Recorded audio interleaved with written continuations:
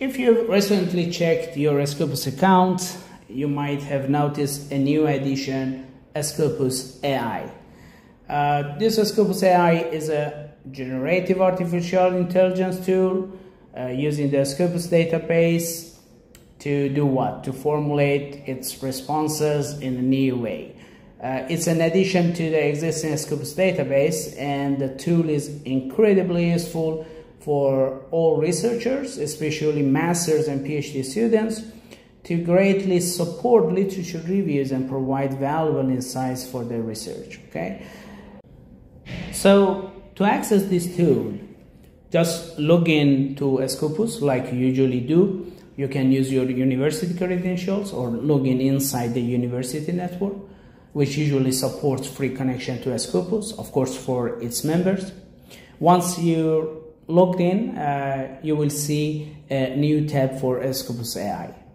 Okay, so click on it uh, to access the tool, and here we go.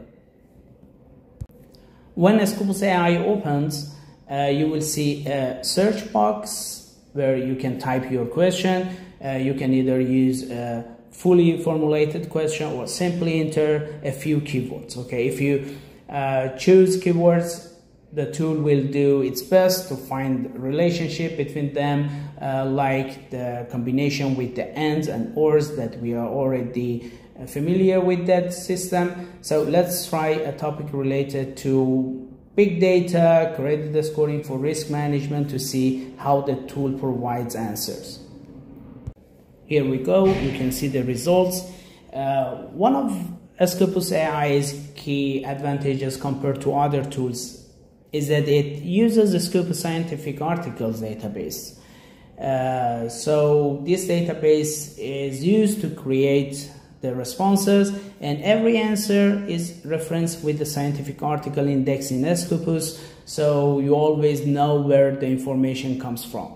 So as you can see the tool provided a summarized response to the question including reference indicating uh, by numbers uh, which link to what? To the articles where the information was sourced.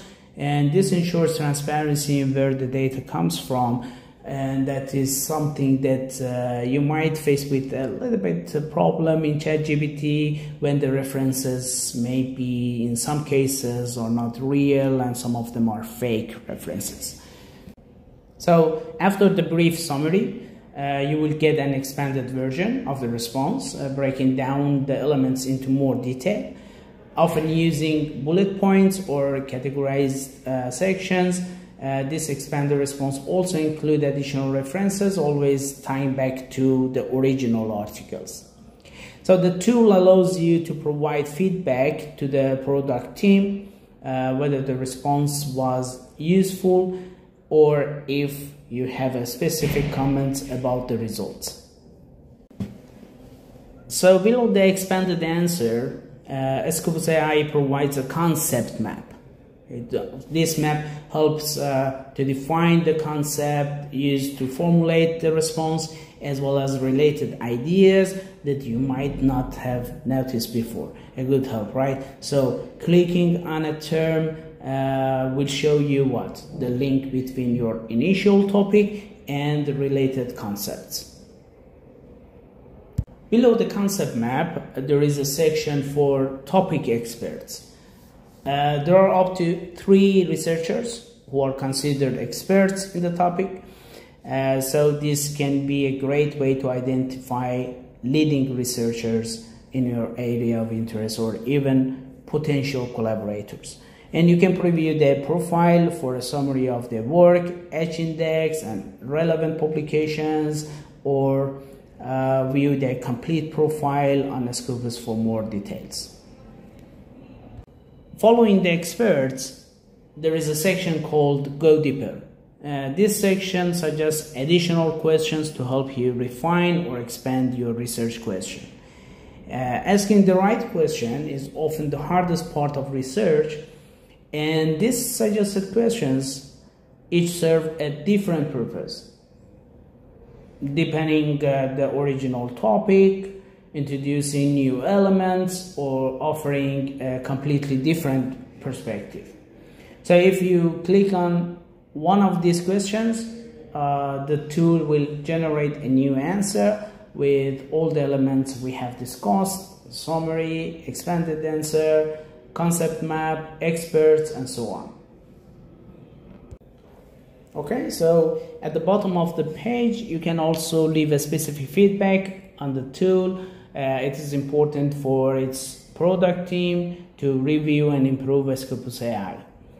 Now I want to highlight something important, the references section at the top of the page. Uh, these numbered articles are the ones that the tool uh, used to answer your question, right? So you can click on show all references to view a list of titles. Uh, it will show you the authors, the summaries, and even you can export them to a CSV or reference manager for future use. Another valuable section is uh, foundational documents which serves as a complementary bibliography okay? So these are highly relevant articles for the search topic uh, but they weren't necessarily used in the response.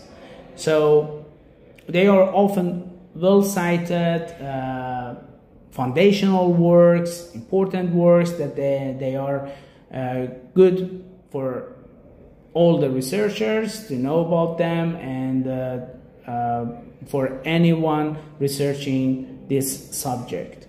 So these uh, foundational documents can also be exported to your reference manager um, and uh, there you have it all the elements that make up uh, Scopus AI responses uh, and as you can see it's a comprehensive tool that goes well beyond providing just a simple answer it gives a summarized answer, expands upon it, and always references scientific articles, uh, giving you a range of resources to explore and do a better research. So I hope you enjoy using Scopus AI. Thanks for uh, being here and happy researching.